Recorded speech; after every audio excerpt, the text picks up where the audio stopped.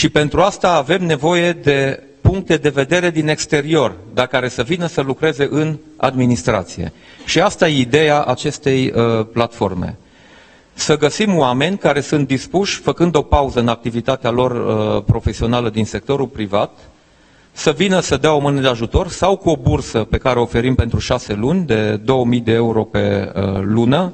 Sigur, nu e miraculos 2000 de euro pe lună, dar e, cred, suficient de uh, stimulativ pentru oameni. Mă gândesc la tineri, dar nu numai tineri.